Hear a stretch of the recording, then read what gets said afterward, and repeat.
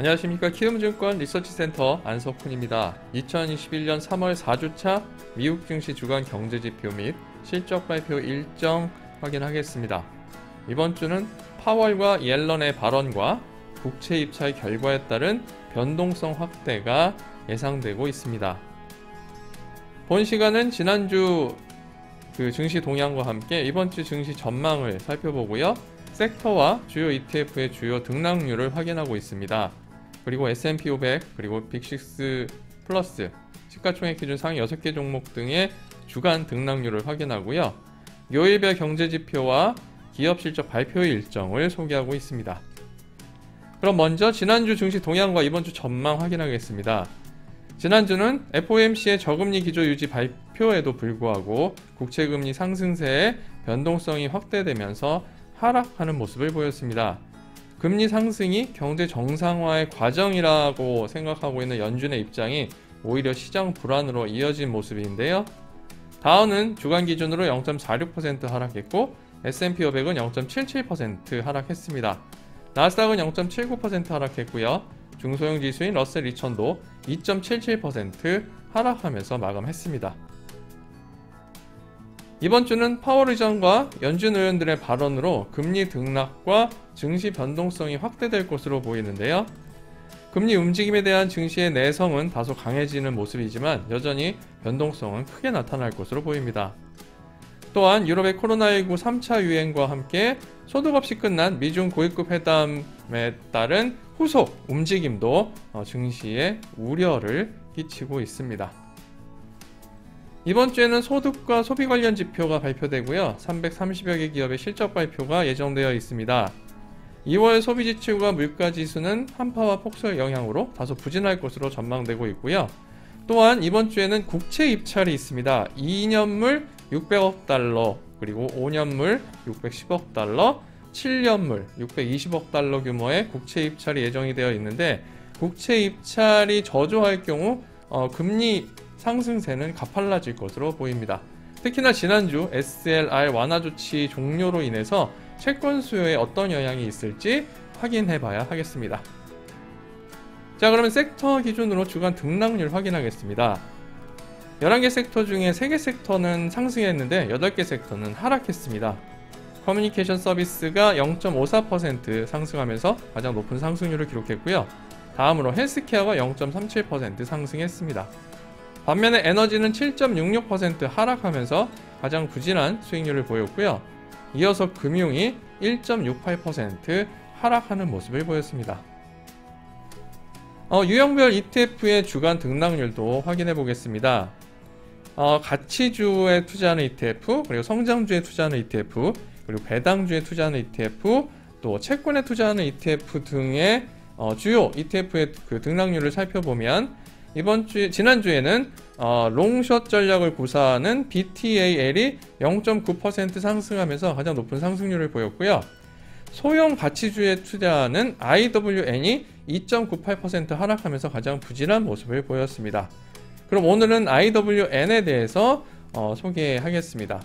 IWN은 아이셰어즈 러셀 2000 밸류 ETF입니다.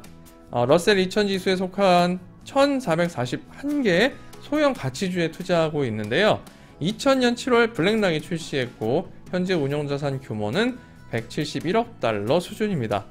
가장 큰 비중을 차지하고 있는 어, 투자 섹터는 현재 금융이고요. 34% 넘는 비중이 어, 금융에 투자되고 있고 다음으로 경기 소비재 분야가 17.32%의 비중을 차지하고 있습니다. 그리고 1441개 기업 중에 상위 10개 어, 비중 종목은 종목이 차지하는 비중은 5.85%고요. 실제로 5개 종목 현황을 좀 살펴보면 식품 원료 및 천연 연료 업체인 날링 잉그리디언트가 0.83%의 비중을 차지하면서 가장 많은 비중을 차지하고 있습니다. 다음으로 비디오 게임 및 전자기기 소매 유통 업체인 게임스탑이 0.82% 비중 차지하고 있고요. 펜실베니아 기반의 카지노 업체인 펜 내셔널 게이밍이 0.69%, 생물제약 업체인 노바백스가 0.64%, 그리고 독립 철강 업체인 미국의 클리브랜드 클리프스가 0.51% 비중을 차지하면서 상위 5개 종목을 어, 어, 구성하고 있습니다. 자, 그럼 이제 주간 단위로 S&P 500의 등락률 한번 살펴보겠습니다. 지난주는 금융이 상대적으로 하락세를 보였고요. 또 에너지도 하락하는 모습을 보였습니다. 앞서 섹터 현황에서 말씀드렸던 것처럼 어, 국제유가가 지난주 이제 하락세를 보이면서 관련 종목들의 하락세가 컸고요. 금융은 어, 국채금리 상승세가 어, 안정화되면서 주가가 하락하는 모습을 보였습니다. 그럼 이제 빅6 동향도 살펴보겠습니다. 시가총액 기준 상위 6개 종목의 등락률은 어떠했는지 살펴보면 먼저 애플은 0.86% 하락했고요. 마이크로소프트가 2.29% 하락했습니다. 아마존닷컴이 0.47% 하락했고요. 구글은 1.12% 하락했습니다. 페이스북은 유일하게 어, 상승했는데 그것도 큰 폭의 상승세를 보였습니다. 8% 넘게 상승했고요. 테슬라는 5.6% 하락하는 모습을 보였습니다. 어, 그리고 주요 종목의 주간 등락률도 살펴보겠습니다. 자, 등락률 상위 5개 종목 살펴보면 먼저 상승률 기준으로 가장 높은 상승률을 기록한 종목은 보험 및 금융 서비스 업체인 하트포드 파이낸셜 서비스 그룹입니다. 22.06% 상승했는데요. 어, 동종업체인 처브의 인수 제안에 따라서 큰 폭의 상승세를 보였습니다. 다음으로 미디어 업체인 디스커버리가 8.68% 상승했고요. 주택건설 업체인 레나가 8.2% 상승했습니다. 그리고 소셜미디어 업체인 페이스북이 8% 넘게 상승했고 항공운송 업체인 유나이티드 에어라인스 홀딩스도 7.96% 상승세를 보였습니다. 페이스북 같은 경우에는 지난주 말에 어, 애플의 개인정보 보호 정책 변경에 따라서 페이스북이 능동적으로 어, 대응할 것이다. 그리고 매출과 뭐 이익 면에서도 큰 변화 없고 오히려 상승할 가능성이 있다. 뭐 이런 어, 언급을 하면서 주가가 큰 폭의 상승세를 보였습니다. 자 그리고 하락률 상위 5개 종목 살펴보면 먼저 oilfield 장비 업체인 내셔널 오일웰 바코 NOV가 12.34% 하락하면서 가장 부진한 모습을 보였습니다. 이어서 에너지 정제 유통 판매 업체인 홀리프론티어가 11.57% 하락했고요. 제약업체인 일라이릴리가 11.43% 하락했습니다. 에너지 탐사 및 생산업체인 코노코필립스가 11.13% 하락했고 전기 유틸리티 업체인 NRG 에너지도 10.75% 하락했습니다. 일라이릴리 같은 경우에는 어, 알츠하이머 치료제 후보 물질에 대한 임상 시험 결과 발표 후에 주가가 크게 흔들렸고요. NRG 에너지는 어, 2월 실적 발표와 아, 가이던스 향후 가이던스 발표에 있어서 어, 지난 2월에 폭풍 어, 태풍과 그러니까 그렇죠 태풍이죠 태풍과 폭설 등의 영향으로 어, 전기 공급을 제대로 하지 못했고 그에 따른 어, 유지 보수 관리 수, 그 정비 비용이 크게 증가하면서 올해 순 손실이 발생할 것이다. 이렇게 전망하면서 주가가 크게 하락세를 보였습니다. 자, 그럼 이어서 요일별 경제지표 발표 일정 확인하겠습니다. 먼저 22일 월요일에는 2월 기존주택 판매가 예정되어 있고요. 이날 파월 의장이 어, BIS 국제결제은행이 주최하는 디지털 시대 혁신을 주제로 한 컨퍼런스 콜에서 어, 언급을 발언을 할 예정이고요. 또 데일리 샌프란시스코 연은 총재와 퀄즈 연은 부의장이 어, 발언이 예정이 되어 있습니다. 23일 화요일에는 4분기 경상수지가 발표되고 2월 신규주택 판매와 3월 리치몬드 연은의 제조업 지수가 발표될 예정입니다. 그리고 파월 의장과 옐런 재무장관이 하원에서 증언을 할 예정이고요. 브레이너드 연준 이사도 어, 발언이 예정이 되어 있습니다. 24일 수요일에는 2월 내구재 수주와 3월 IHS 마켓 제조업 및 서비스업 PMI 잠정치가 발표되고요. 파월 의장과 옐런 재무장관의 상원 증언이 예정되어 있습니다. 또한 오후에는 윌리엄스 뉴욕 연은 총재의 어, 연설이 예정이 되어 있고요. 25일 목요일에는 주간 신규 실업수당 청구 건수와 함께 4분기 GDP 증가의 수정치가 발표되고요.